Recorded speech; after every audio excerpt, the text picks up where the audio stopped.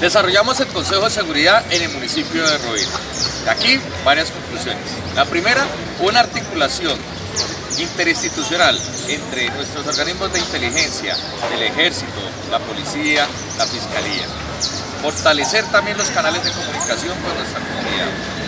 Desarrollamos también una estrategia de presencia de nuestra fuerza pública, tanto del ejército como de la policía, con sus escuadrones motorizados, con el GOES, con los Gaulas y con el escuadrón del proceso de Circo Colombia.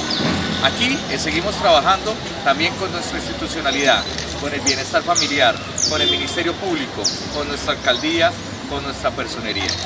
Debemos trabajar para proteger los derechos de los niños, niñas, adolescentes y jóvenes y un trabajo fuerte contra el microtráfico en el municipio de Rovira.